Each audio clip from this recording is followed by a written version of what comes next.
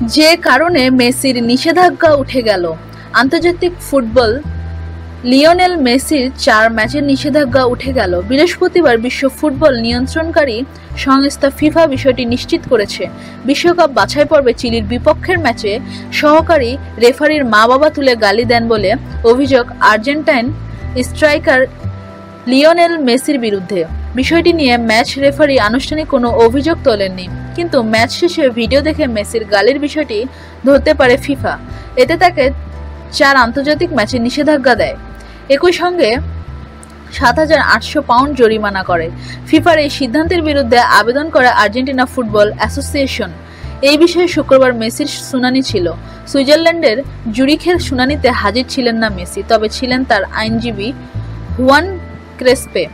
সেখানে তার সঙ্গে কথা বলেন ফিফার আপিল বিভাগের কর্মকর্তারা। তারপর মেসির ওপর থেকে সব নিষেধাজ্ঞা তুলে নেওয়ার সিদ্ধান্ত নেয়া ফিফা।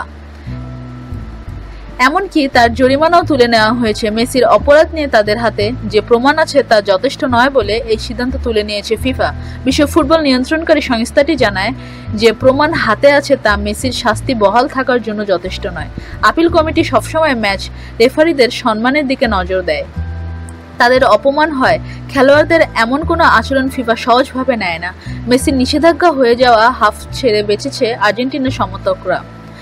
রাশিয়া বিশ্বকাপের বাছাই পর্বে এমন এমনিতেই কঠিন অবস্থার মধ্যে রয়েছে আর্জেন্টিনা। চোদ্দ ম্যাচে বারো পয়েন্ট নিয়ে দক্ষিণ আমেরিকা অঞ্চলে দশম স্থানে আছে তার। এই অঞ্চলে দশ দলের বাছাই পর্বে শেষে শীর্ষ চার দল সরাসরি বিশ্বকাপের টিকিট পাবে। পঞ্চাশ দলের সামনে প্লে অফ খেলে মূল পর্বের টিকিট কাটার সুযোগ থাকবে। এত আর্জেন্টিনা এখন রয়েছে বড় চাপে। নিষেধাজ্ঞার কারণে বলিভিয়ার বিপক্ষে খেলতে পারেনি মেসি। আর্জেন্টিনার সামনে বাকি চার ম্যাচে প্রতিপক্ষ উরুয়ে ভেনেজুয়েলা, পেরু ও ইকুয়েডর।